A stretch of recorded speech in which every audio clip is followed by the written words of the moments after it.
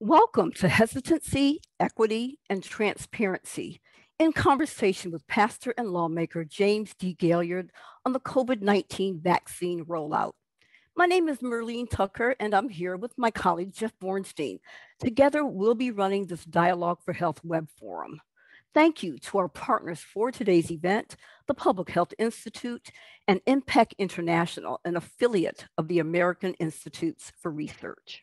I'm just going to go ahead and turn it over to today's moderator, Dr. Mary Pittman, the president and CEO of the Public Health Institute. Welcome, Mary. Thank you so much, Merlene. And I want to thank everyone who has joined us for today's webinar. Before we jump into the session today, I want to review our discussion in the first session, since many of you were not there.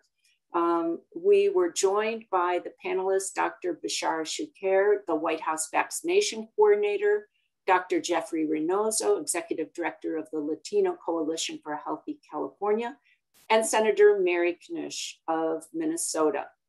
Our panelists shared their perspectives from working at the federal, state, and local levels and what they'd learned in their respective approaches. The next slide shows the key lessons that we learned from that web forum. An important one is providing the right message through the right channels can help build vaccine confidence and acknowledging that the past trauma experienced by communities um, can uh, increase trust and decrease vaccine hesitancy.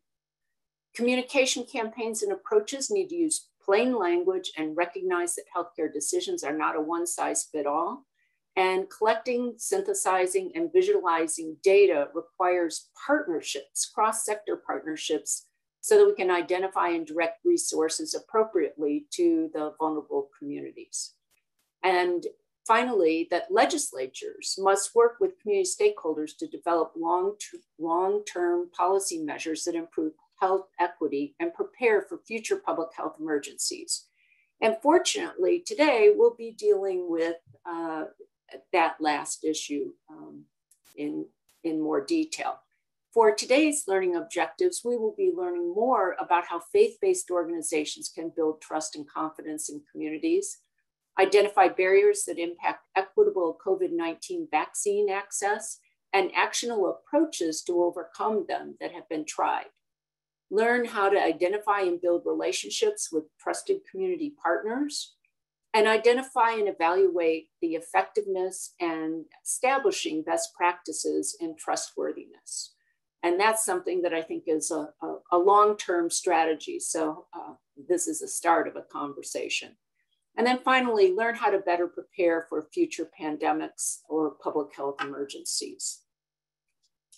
So if I could uh,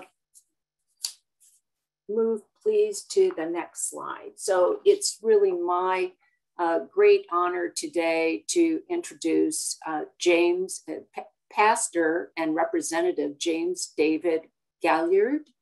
And he is uh, the senior pastor at the World Tabernacle Church, which is a mega church serving thousands of families in North Carolina and Virginia. He is also the founder of the Reach Center, which helps to equip individuals to secure gainful employment prevent homelessness, and break the cycle of violence through education, skills development, and connections to community resources.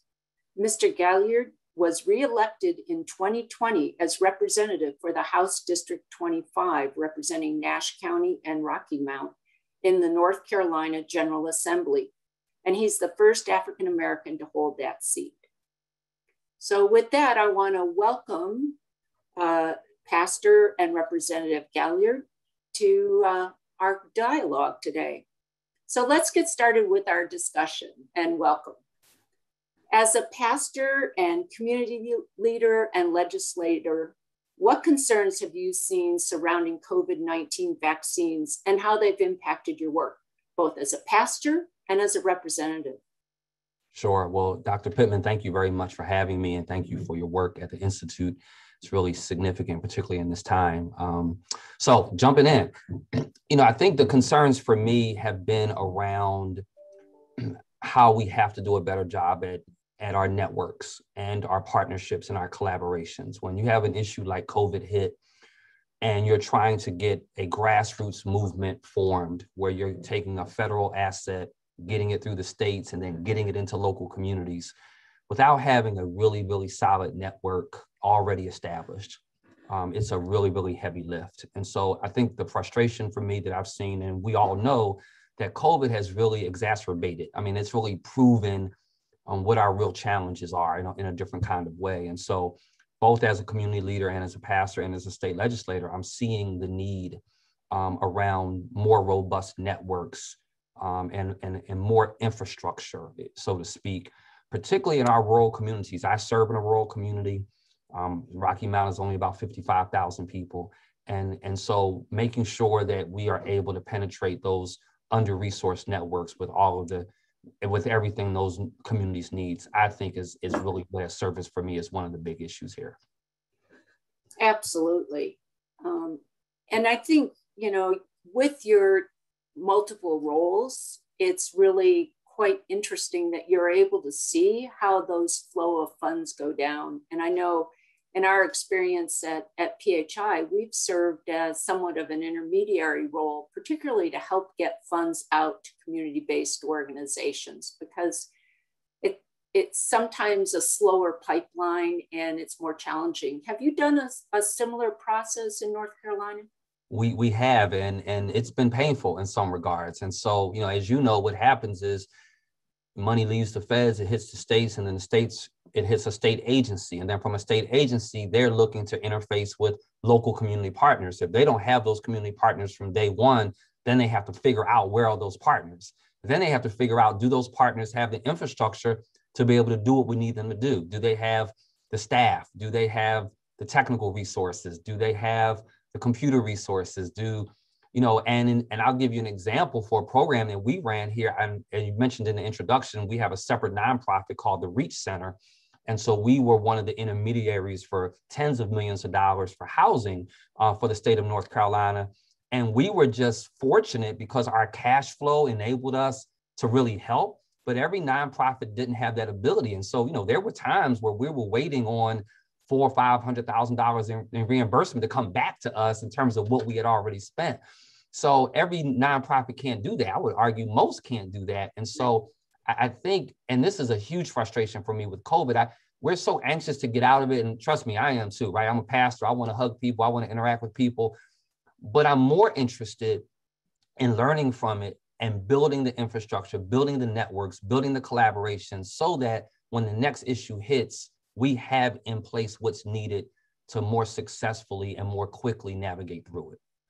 I can totally relate to that. And I think what we're what we're experiencing, and, and we've had the same experience of having to put money up front, but I, I think what we're experiencing is an opportunity to reimagine what our public health systems look like.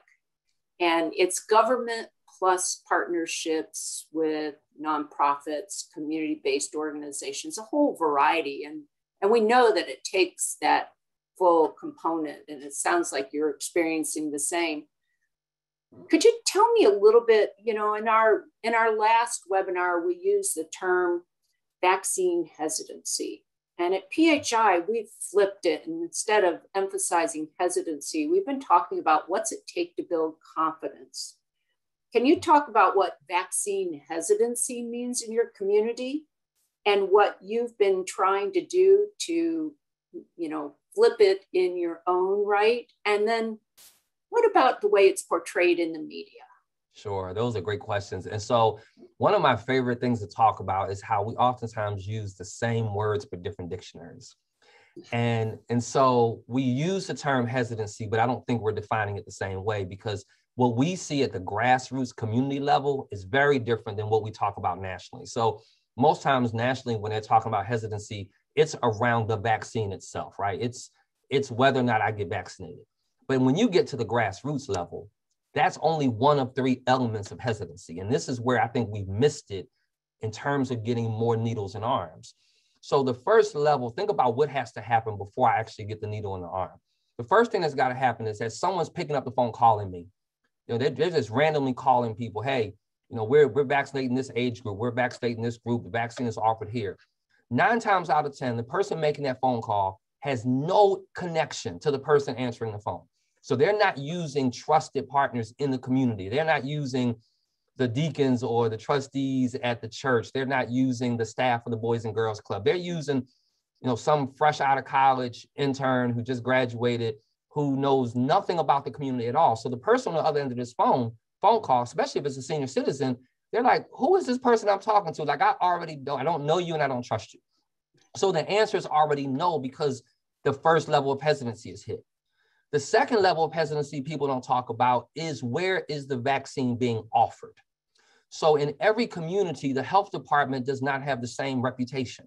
So if the, if the states are relying upon health, the health, the health clinics or the health, the county health departments to be the ones initially offering the vaccine, which was the case here in Eastern North Carolina. Well, here in Eastern North Carolina, oftentimes the health department is kind of where you go if you have an STD or if you can't go anywhere else. And I don't really want to meet my friends seeing me at the health department. So then there's a hesitancy there. And then you get to, well, can I really trust the vaccine? What is being said in the community about the vaccine?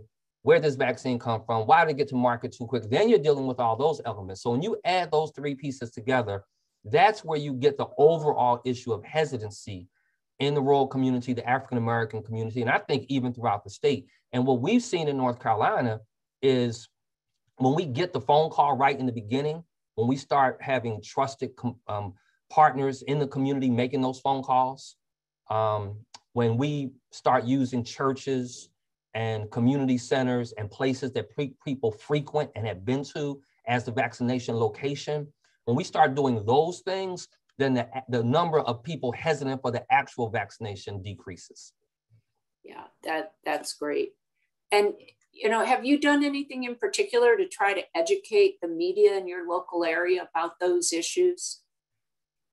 I, have, you know, fortunately, I'm I'm in the General Assembly, and so as a result of that, I get the opportunity to kind of use a different tool based upon what's going on. And so, you know, I beat this message with our Department of Health and Human Services and and the governor's staff and people, but it's a difficult message at first. I mean, it's very difficult for people to hear this because we have these images of ourselves that we don't exactly want people to speak opposite of. And it's not to be disparaging against any group of people. It's just about people understanding that sometimes what happens on the ground is a little bit different than what kind of happens in people's heads further removed. And so I think we've been successful. We have a ministerial alliance here, and that's a channel by which we can get some of our messaging out as well that way.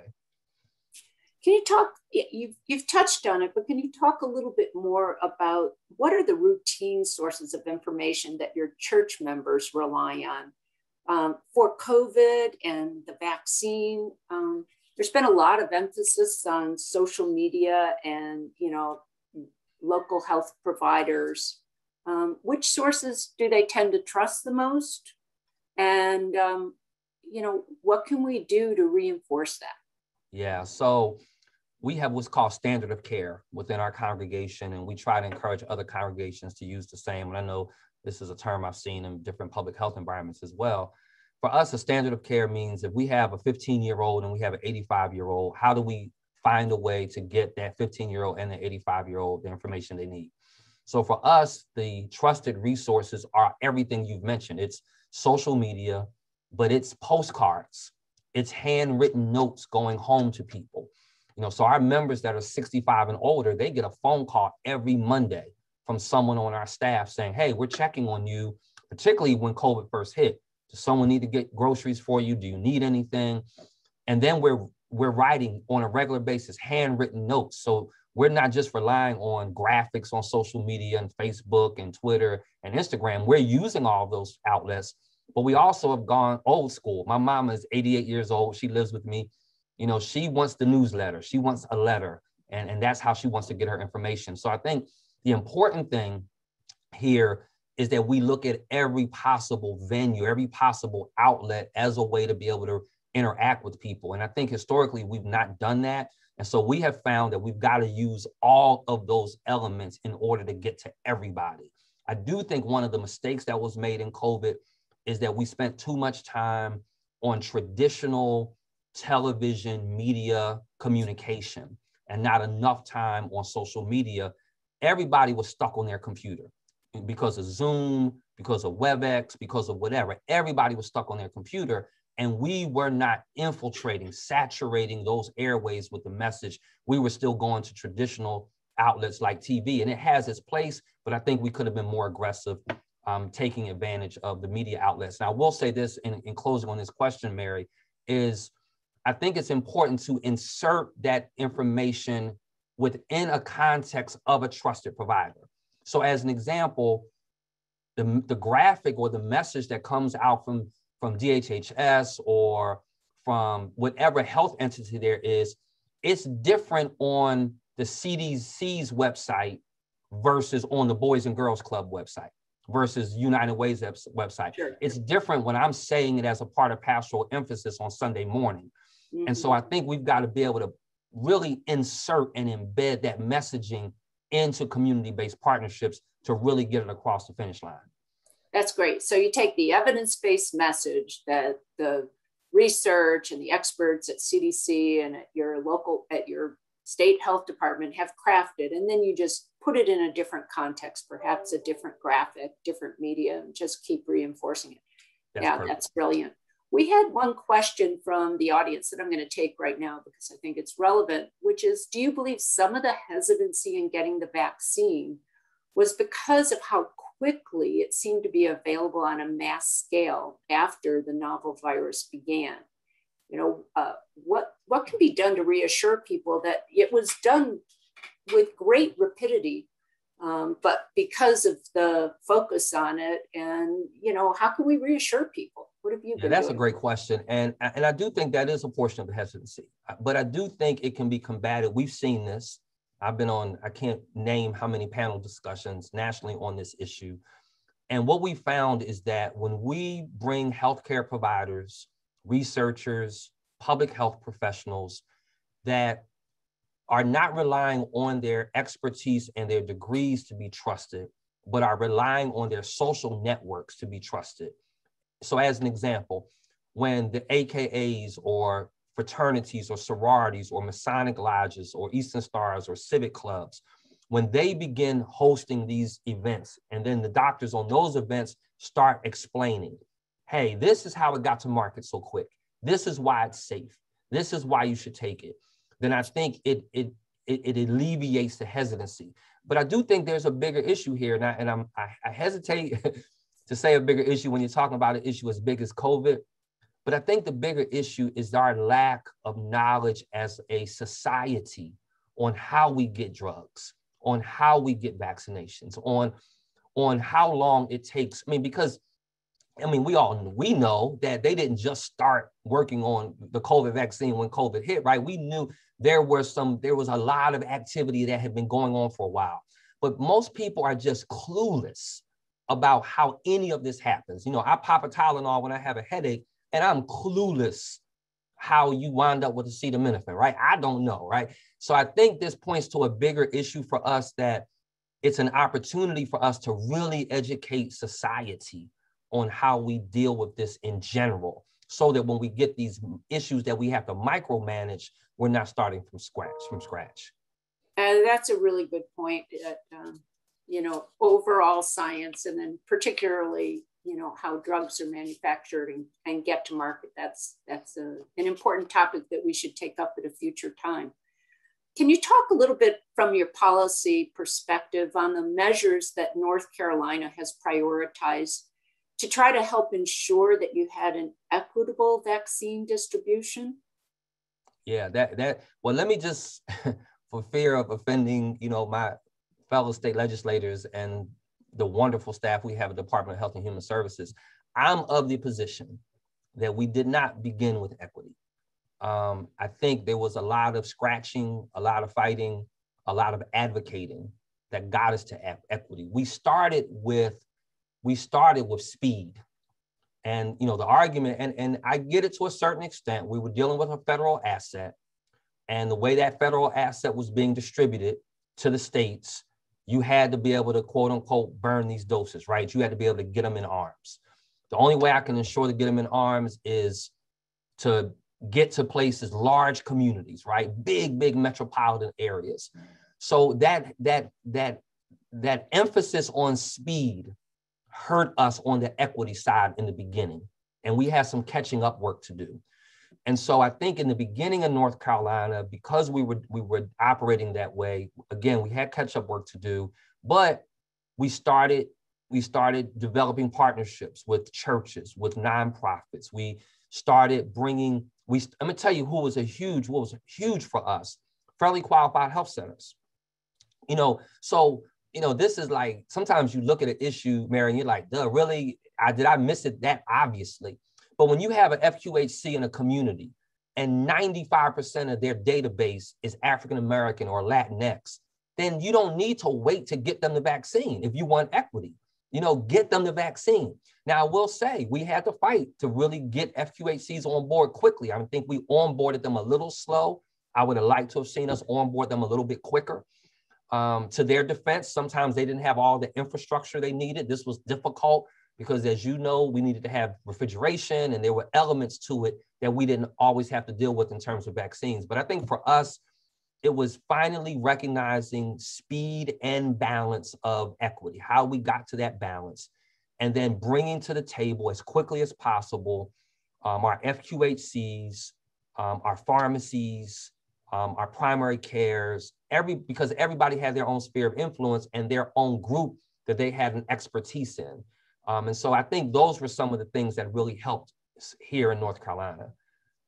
Well, building on those lessons, I know everyone is longing for a post pandemic environment. And um, I'm wondering what are some of the long term policy measures that we can take from those lessons that you just outlined to help reduce the disparities and to prepare communities not only for a future pandemic, but a future way that we address those people who have not always received the services that they're eligible for or in need of? Yeah, that, that's a great question. I think for me, one of the answers is we have in North Carolina, and I'm not sure how other states are designed, we have area health education centers, and they are, our state is divided regionally. I think we have 16 in the state. And so those area health education centers have within them certain counties that they operate in. They really are kind of the experts about what goes on in their counties. I think we brought our AHECs, our area health education centers, we brought our AHECs to the table a little late, in my opinion. And I think the learning and the takeaway is we have these existing structures and these existing resources, and we have to do a better job of resourcing them and equipping them and empowering them to do the work that they can do well. What DHHS can offer is different than what I can offer at the local level with my area health education center, where I can really micromanage um, the resources. Um, I think the other big takeaway from me is our data, and we may get into this later, I'm not sure, but I think one piece of data that's really important is zip codes.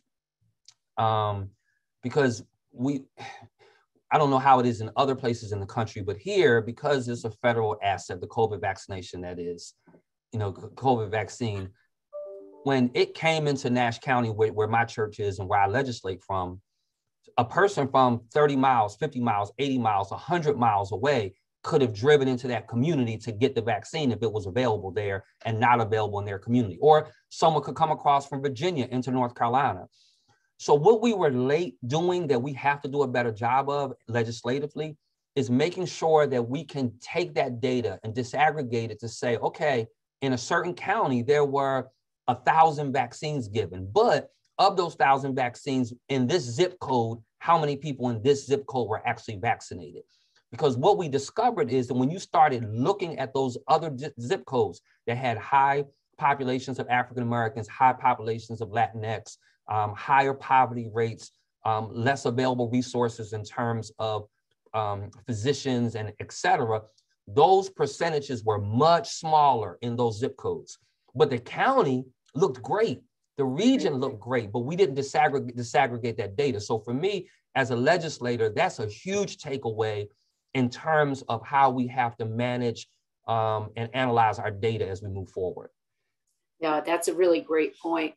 I want to spend a couple of uh, moments talking about some of the implementation challenges. And I know we have some questions from our audience as well about the actual vaccine and you know the pause in um, distributing the J&J vaccine and what impact that had and people thinking that it might not be as good as the other vaccines and how do we get over that uh, perception. And then the second thing is uh, a lot of people went and got their first vaccine and moderna and pfizer required two shots. And in some cases for harder to reach populations they opted for the j&j and so there was a question you know um, you know is this a discriminatory use of the vaccine. And I think you'd have a, a different response if you had, uh, you know, a scientist talking about it. But how did you deal with those various perceptions in your communities? Yeah, that's a great question. Let me tell you, we had a J&J drive-in clinic. We had fought so hard to get a massive number of vac- vaccines available. And we were going to do a one day that was drive-in appointments inside the church, appointments in the parking lot, I mean, drive-through, and we would go homebound, right? And it was all J and J. And the bottom fell out 48 hours before the event. And so we still did well. Not we didn't burn all the vaccines like we wanted to because we did take a hit. But this is what we learned from it. First of all, consistent messaging is so important. And the consistent messaging from day one for us was the best vaccine is the vaccine available. We, we have been saying that and we continue saying that. And so when people started coming after the J&J you know, issue that we had or that went on nationally, and the J&J was back back in rotation, and when they, they, we would tell them what we had available, they they were so used to hearing the best, best vaccine is the one available that it really didn't matter as much what the vaccine was. The second thing about the J&J for us is the governor of North Carolina, the secretary of Department of Health and Human Services both took the J&J vaccine. Mm. Um, and I took, you know, the J&J vaccine and we recorded it and then we televised it. Um, and so we started looking for people that we knew had good voices of influence to say, would you take the J&J vaccine? Um, and it worked for us. Um, and we even had a, an event with Pfizer employees volunteered at the event to distribute the J&J vaccine. So I think depending on how you message it, depending on how truthful you are with people, and we it's very important in messaging that we not react. We have to have enough on the ground grassroots influence that we already know what people are struggling with and what they're thinking. And we have to get the message and the narrative out ahead of their narrative of concern. And a lot of times we're waiting for people and we have to jump in first and say, hey, let me tell you, this is the narrative. This is what we want you to understand. And then when we started giving people data, you know, of, and I forget what the numbers were now, but I literally, we calculated the physician and, and I at one point, and the, the you know, the J&J vaccine was like 99.99998%. You know, okay, like the number was so small. Right. And the other thing, I'll just, you know, and, and if I'm getting too lengthy, just tell me I'm a preacher by nature, so I talk. So, um, but but the other thing uh, for me goes to again educating people around the process of medication and and how there are issues they may be rare but what i said to my congregation is listen to an infomercial of any drug. It doesn't matter what the drug is. And if you listen to the infomercial, you're going to start hearing. It could cause blindness. It could cause hardness of hearing. It could cause weight loss. It could even cause death. Like you're going to hear it with 100% of medications. Right. So again, it's helping people connect those dots. You know, so overall, I think that people were fine. We got on the other side of the J and J issue, and I have not seen how it's been a major issue for us here in North Carolina. I am personally a huge advocate of the J&J vaccine in certain communities, and this is the reason why. When you need two vaccines and you don't have any health insurance and you don't have any paid time off, and the only place in your community offers the vaccine between 9 a.m. and 5 p.m., and the only way you can get it is to take three hours off from work that you're not going to get paid for it is easier for me to do that one time than two times. You complicate that with an aging mother or father at home that you have to take off from work to get to the provider so they can get the vaccine. Again, it is easier for us to do that one time than two times if there is a response. You know, I had about 12 horrible hours with the J&J. Then I felt fine. I was not real smart because I took it on a Saturday and I had to preach on Sunday morning. so, but one of the physicians in my church, when I complained about how bad I was feeling, said to me, imagine feeling everything you're feeling and being on a ventilator for six weeks. Right, right. And then I yeah. shut my mouth immediately. The alternative so. is worse. That's right. yeah. Can you also talk to me? I know you did a lot of outreach directly to the homes, and I think you had mobile vans that went to some communities as well.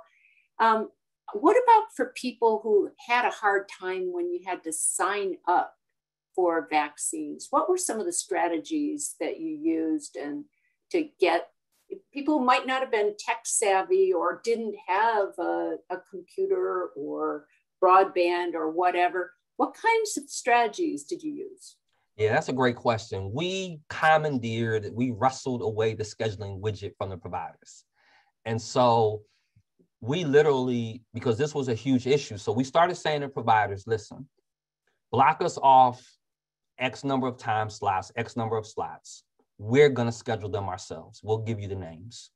And then eventually, once we got trusted with doing that, and then we started making phone calls. Hey, Mrs. Smith, this is and such from Word Tabernacle Church. We have a 10 a.m. slot next week available for the vaccine. Can we put you down? And then that senior citizen didn't have to worry about jumping through all those hurdles. So we we took all of the information we had from our church databases, community databases, and all that, and we did our own scheduling. And then eventually, once we got trusted with the providers with that, they started trusting us with the actual scheduling widget, and we could go in and just go ahead and do the scheduling. So for us, that was one of the workarounds. That's great. Yeah, very much hands-on, you know, and something like this that's novel, that's new, people are unsure, trusted voices and hands-on approach. I want to switch us a second to data. You mentioned that earlier and the importance of data. And it sounds like you and uh, colleagues, both at the church and in the legislature, are pretty savvy. Um, and you said you didn't start out with an equity index, but did you collect data on race and um, ethnicity and perhaps language needs in your state? That to my, you know, to our credit, uh, Mandy Cohen and, and her staff, North Carolina was one of the first states to report on race um, and ethnicity. And I, I, I'm really now the downside of it was they had us legislators down their throat every time we were looking at the dashboard, not liking what we saw, but at least we had the data. Right. And so, yes, we did report on that. And in the early days, Mary, it was frustrating because we would, I was looking at data because our state dashboard would give it to us of the number of COVID cases by race percentage. We would compare that to the percentage of that racial group in terms of the state population. We would compare that to first vaccine doses and second vaccine doses. And in the early days, the your lines went either straight up or straight down based upon your race. So in the early in the early days of the vaccine, if I was white my, and, and I had X number of, of cases, my first dose count was here, my second dose count was here, and man, they were trending straight up. If I was black or Latinx, it was trending straight down.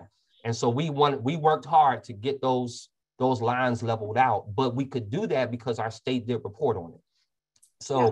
I think we've done a great job of reporting on on on race and on ethnicity. The only thing I think I would have done differently if we had the capacity is I would have reported on zip code much quicker. Okay, that's really important. Um, and did you make that data publicly available? Yes, that data was available on the Department of Health and Human Services website. We actually literally, um, we could, we could, it was an algorithm that was out there. So we literally, many of us in the General Assembly, we were posting it on our social media every day when it updated. And so for people that were either following me as a state legislator or following me as a pastor, I would post that on my personal uh, Facebook page and on my legislative Facebook page. And we would show the numbers and we would show people this is how you get the data. This is what you click on. This is what you look for. Pull up your county. And I know for me, in the early, uh, probably the first six months that we were fighting COVID, I was posting those numbers on a daily basis. This is where we're at. We've got to work harder. Do you think you'll continue doing that for other health issues? Do you think you'll continue doing it for hypertension rates, for uh, diabetes, for other things in the future to try to get people to change their behavior? You are asking my favorite question right now because that's exactly what I hope the outcome will be. And I'm, I'm huge on adaptive leadership. And I took a step back to say, what are we missing in terms of addressing social determinants of health? What are we missing in terms of addition, de- dealing with health disparities? And I think you're spot on. I think we use this approach data, trusted community partners, um, consistent messaging, repetition. Uh, we continue to do this to address all of the other issues we have childhood diabetes, childhood obesity. I mean, the list just goes on and on. So, to answer your question, yes. Um, and that is exactly what one of our agenda items um, as a result of COVID. Well, you know, I'm a bullish person on partnerships, and we talked about that earlier the need for government, nonprofits, community based organizations, faith organizations to partner together. Um, you know, we've done it with in some communities well.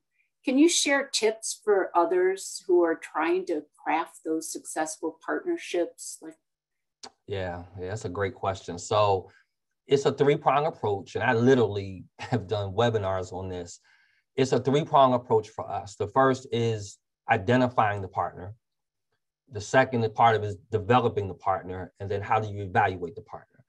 Um, and so, as an example for us, and I'm talking more as a senior pastor now than as a legislator, but it's somewhat similar, is is identifying the first step for me in identifying those partnerships is entities have to ask themselves who do we have within a certain community that knows how to leverage their captive audience already? It's not about whether or not they're doing it with about health issues but are they leveraging a captive audience for any reason whether it is politics, whether it is housing, whether it is Black Lives Matter, whether it is education, whether it is police reform. Do we have any trusted, any partners in the community that know how to leverage captive audiences? That's step one, figuring out who they are. Because to, to, to suddenly encourage a, a faith entity or community-based organization to utilize their influence for a social good that's not within how they view themselves is a very difficult sell. And so that's step one for us is just figuring out who those entities are. I think the second step, what we tell people in terms of developing those partnerships, is it has to be an organization that has a built-in infrastructure. Now that sounds like a given, but many nonprofits, many churches, many community-based organizations really lack infrastructure and capacity. They really have influence because of like a charismatic leader. You know, some person that people just like, somebody just trust, but they don't really have infrastructure. The reason I say it's important to have the infrastructure is because you don't want partnerships that are suddenly gone when people leave. And we've seen this with academia, we've seen this within our community. So it's built on the senior pastor, but suddenly he leaves. And now the university system is like, well, what do we do with this? So it has to have an entity that has infrastructure. And I could go on and on about this. So I'll just give you just one more. And then it has to be an organization that has, has financial ability that is sustainable, independent of this partnership. Now, that's important for two reasons. Sometimes partnerships don't carry any funding with it at all. And that's fine because sometimes we just need to get the work done but it has to be an organization that doesn't have so much burden on it that if it did one more thing, it would be its tipping point and it would no longer effectively be able to do its core operation. Similarly, it has to be an organization that if it did get funded for the partnership, and we've done zillions of these, we're doing one with UNC Gillings School of Public Health right now. It's been a great partnership. It has to be, we, we have to have the ability that if we did not have this partnership and these grant dollars, that it would have no impact upon us at all in terms of how we work. And so those are some of the initial thoughts that jump out for me in terms of developing some community partnerships. Um, it, it reminds me that one of the programs in California that I've been most excited about is philanthropies coming together in a program called Together Toward Health that have allowed us to provide funding to smaller community based organizations doing great work where it may be one or two people. They don't have the infrastructure, mm. but we're able to get core dollars out to them at the same time we're giving them program dollars we're giving them some training and a little bit so that they can be building some of that capacity for the future and i think that as we're looking at these programs one of the things we want to do is leave behind community-based organizations that are stronger than when they started so i'm i'm sure we're in agreement on that we are one of when i get to the evaluation portion of talking about you know, and that could be another webinar for another time. But when I get to the evaluation portion, one of the things I say to, to academics or whoever's forming these partnerships, government entities, you want to ask yourself, what did we leave behind? How did we make this nonprofit stronger? What are they able to do now in our absence, now that we're gone? Because it can be a little unkind if you, you know, fund a nonprofit for five years they're used to a certain level of influence within a certain dynamic. The funding goes away, and now it's as if nothing ever happened. And so to be able to leave them with an infrastructure to build future relationships and for the community to build future relationships, I'm I'm elated to hear you say that that's happening because it is so important. And we'll have an evaluation coming out on how that happened because we think it's a good story to share. We only have uh, about 15 minutes left, and there's a question that came from the audience that um, I think is important. And it's COVID vaccine is heavily politicized. How do you bring in key stakeholders from the faith based community to help promote the vaccine while still being respectful of their concerns? And the question is uh, Are there certain scriptures, beatitudes, stories that you're using to reach out to your church members that you could share with this audience? Yeah, that is an outstanding question. And yes, it is highly politicized. I mean, we've seen it. Um, North Carolina, we sued the governor. Churches sued the governor so they could open back up. And so it, this has been really tough. Let me let me say this. This is really a matter of how churches define the gospel. This is beyond denomination. This is beyond race. I think we think it's a race issue, but it's not it's really a theological doctrinal issue. And so churches like ours, we define the gospel as both justice and justification by faith. Most of the churches that are really struggling with the vaccine, and I want to be very clear because I don't want to offend any audience participants. I'm generalizing when I say this. There are always exceptions. I'm generalizing. Typically speaking, though, the more conservative a church is, the more they define the gospel as strictly a matter of justification by faith, meaning I want you to get to heaven. And if you're stuck in a really bad place here on earth, no big deal. You'll leave one day and you'll go to heaven. Usually, churches, the more far left, are very concerned about issues of justice on the earth. They're concerned about earth issues. Those tend to be the churches like your mainline denominations that are going to be more open and willing to participate in vaccination sites, vaccination clinics, and et cetera. And so what I, you know, what I encourage people to do is to recognize the theology and the doctrine in this argument, um, number one. And then I think the second thing for me to answer the second part of the question is we have to be, it's not a certain scripture or a certain beatitude. It is literally the ability, if anything, is love your neighbor, right? And so what I said to our congregation, because we had hesitancy within our church, I mean, we did a poll and we're at like an 81% vaccination rate in our congregation, which I'm thrilled about. Um, but I, you know, I'm consistently saying to people, this is a unique opportunity for us to put our faith on the platform and show the community that we can love them, and we we can't squander this opportunity. And so for me, it's just a reminder for people of what we have been called to do in terms of our faith and how we get the chance to live it out missionally in front of people every day. Um, but this is unfortunately politicized because we have certain denominations that have taken on a political doctrine and not really a biblical doctrine. And I don't know that there's an easy, clean answer out of this. It's part of what has complicated this whole vaccination issue and part of what complicates kind of where we are as a society.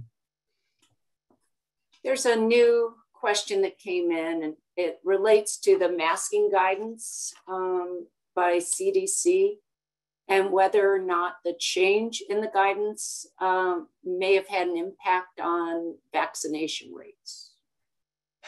Well, I don't know who the audience is, so somebody from CDC's might get might get upset with me on this one. Um, I was very disappointed by the guidance. Um, it was very difficult to message the guidance, how you almost, you know, because we are, so the short answer is I, it absolutely has affected vaccination hesitancy and not even hesitancy. It's just kind of like, well, we're good now. We don't need it. You know, it's, it's difficult when you change your messaging midstream. And so here in North Carolina, we were shooting for 75% vaccination rate before we could say the coast is clear. You know, we're at 40 some percent, maybe 40%. And then suddenly the governor, because of the CDC guidelines, says, take off your mask if you're vaccinated. And it it left people confused. Um, we're not really, I mean, I still go, I'm fully vaccinated, but when I go into a grocery store, I still have on a mask. I was at a funeral yesterday, everybody in the funeral had on a mask. Um, I think it has really created some complication. And I don't think there's been good messaging from CDC, even from the state level, in my opinion, of explaining to people why suddenly we didn't have to get to herd immunity and the coast was clear. So I do think it's hurt. And those of us like myself who have platforms where I get to speak to thousands of people every week, you know, we're saying to people, you know, if you're out there around other people, still wear your mask. Um, in the church, when they get around, we still aren't, aren't returning to full, we won't until September. So we're being super, super cautious. So I do think that has really created a complication. And I just wish it, I, I do believe in following the science. And if the science says you can now unmask, I think we should have had better messaging to explain why the herd immunity is different now than what we anticipated. So I, I think that's an area for improvement, in my opinion. I think one of our challenges is we're learning every day about this pandemic, about this virus, and these new variants that come forward that make it difficult, I think, to you know have one message and stick with it. But then it is very challenging for the public health voices for the faith leaders the community leaders the elected leaders to continue to have the confidence uh, by the people that they're trying to influence so yeah i appreciate all that you've been doing and let me just give you an opportunity to what last piece of advice would you like to share with the audience whether it's from your policymaking perspective, your community leadership. What, what have we not touched on that you'd like to share?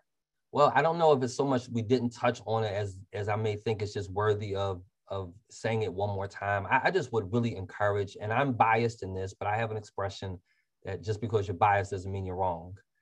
Um, I'm biased in this, but I think that churches and faith organizations, we need to take more seriously opportunities to partner. Here in North Carolina, um, we have 100 counties.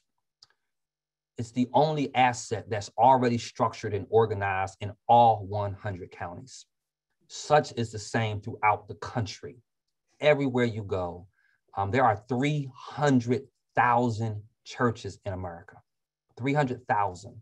They have buildings, they have structure, they have leadership, and I think we have to really work harder at partnering with those entities. They are trusted voices. Most are not going to proselytize on the dollar or the relationship. They really just want to see people's lives better. And I would love to see us take on a, a more serious, more aggressive role in trying to develop out those partnerships and those networks. I think it's a huge opportunity for us. I think it would create a win win and I would just respectfully ask people to really, really look at those scenarios. I'll give you one quick example, Mary. We were having a hard time getting AIDS testing 15 years ago in this community. Health department was struggling. The HIV rate was going through the roof in Edgecombe County. We have one of the highest HIV rates in the country here. And they reached out to me. And I said, I'll tell you what, give me the HIV test, give me the AIDS test, do it in the Sunday school uh, classroom of my church, bring the newspapers. I took the AIDS test and we turned three of our Sunday school classrooms into testing sites. And in two weekends, they tested more people than they had in two years. So, you know, I, I, and that's just one example blood drives, right? Don't have a blood drive on a Friday afternoon or a Saturday afternoon at some community center. Have it on Sunday morning at a church. And when people get done worshiping, they give blood. You'll get more blood than you ever thought you'd get.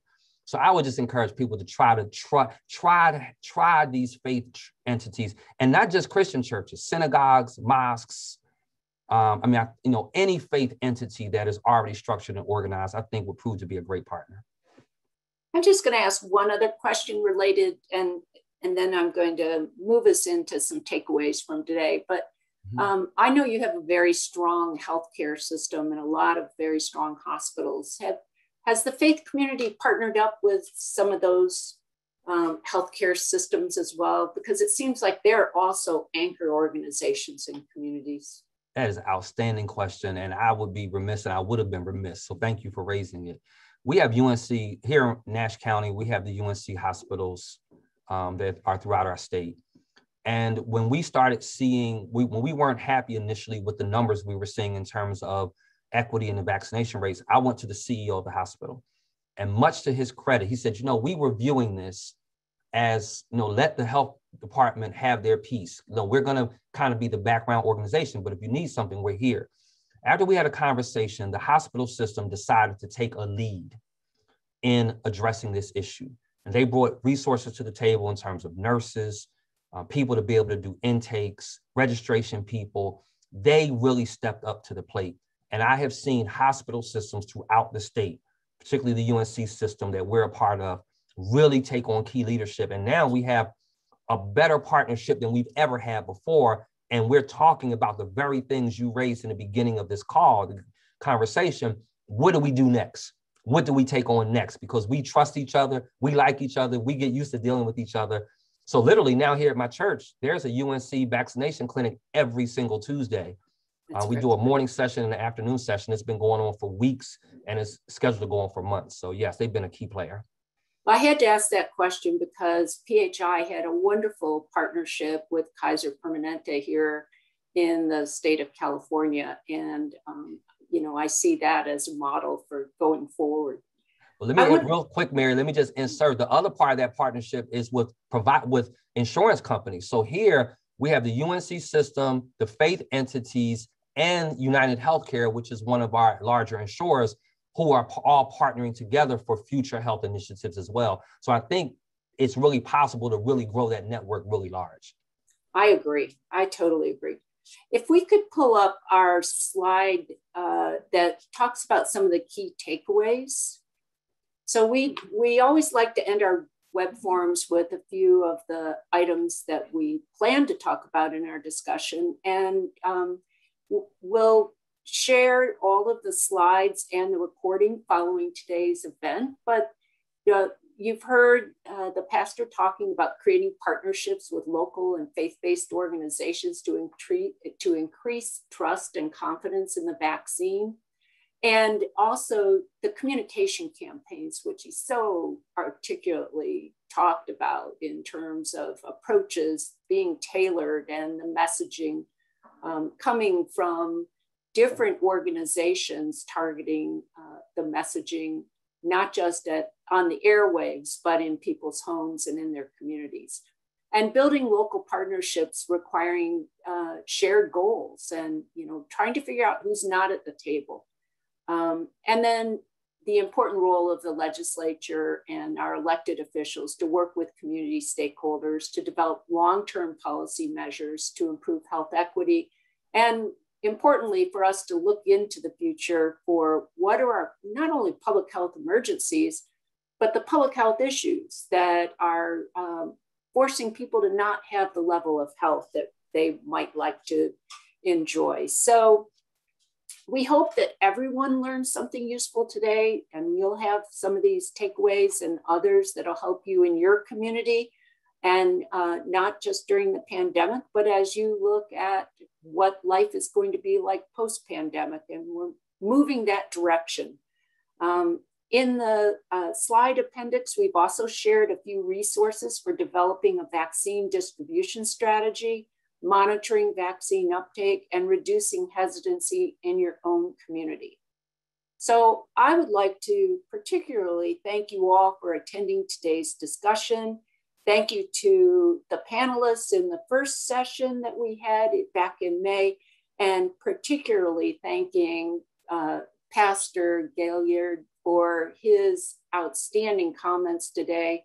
You've brought a lot of real practical examples from your community, your state, your experience as an elected official. Um, once the web forum ends, please give us your feedback via the pop-up survey and continue to stay tuned in for upcoming events. Look for getting a hold of the slides and, and you can share the recording with others. Thank you again for joining us and stay healthy.